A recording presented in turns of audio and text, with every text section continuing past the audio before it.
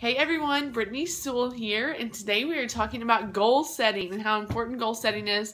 I'm going to give you some great tips on setting your goals for our next 30 days for the Believe in Your Selfie challenge. So, today's challenge is to set goals for the 30 days. And 30 days is kind of a long time, so I really want you to um, take time to write down your goals. They say that when you write down your goals, you are um, more likely to achieve those goals because they've been written, you've written them with your hand so it's um, in tune with your brain. So really take time to write down these goals, to map out some things. And so a couple things I want you to focus on are not only goals um, that you want to achieve with your body, but I do want you to write those down. It's things you want to achieve with the working out portion. Um, and then things you want to achieve achieve internally. So as we work on our self-esteem, what are places, where are places that you want to grow and you want to see changes happen? And write those down. And then as you write down your goals, I want you to think of this acronym called SMART. So we want to do SMART goals.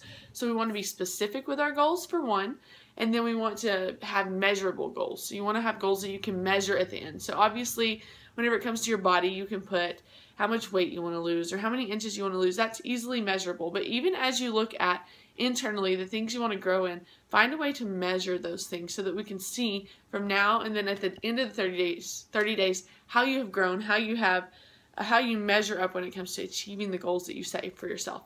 And then I want you to think of attainable goals. So that's number three. So we're looking at the word SMART. So we're starting with specific, measurable. The third one is attainable. I want you to focus on creating goals that in the 30 day period you can attain. I don't want you to put them way far out there where at the end of 30 days there was no way you were going to achieve them. Really think about with a 30 day period, are you going to be able to achieve these goals?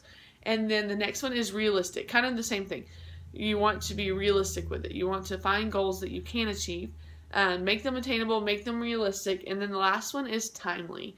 So, what are things right now that are going to benefit you? What are things right now that um, you can grow in, and things that um, you're going to be able to achieve in this 30 days? So, really think about those things. Be specific, be measurable, be um, attainable, realistic, and timely. So, think of the SMART acronym and as you write those down, we want you to write those down on paper and then part of our daily challenges will be to post a selfie. And that doesn't have to be of yourself. It can be of an item. It can be of anything. But with it, you're going to include that day's challenge. So today, we want you to post on your personal profile, so publicly to other people. We want you to share using our hashtag that's on our page and um, share with those people what your goals are. Then come back to the page and let us know that you did post that so that you can get your points because we have prizes at the end of this challenge. So be sure you're reading that document in our files that talk about prizes, talk about posting. And remember, you are starting your workouts today. So set a time to work out today. And then you're also starting replacing one meal with Shakeology. So choose either breakfast, lunch, or dinner and make that Shakeology shake and enjoy it and share with us your favorite recipes. So we're so excited to do this 30 days with y'all. We're excited to see what comes out of it internally and externally. And we want you to be active on our page. So be active, be sharing the daily challenges, but also interact with people, make friends, encourage people, share with us where you're having success, where you're finding things that are hard, share with us recipes that you found that you love.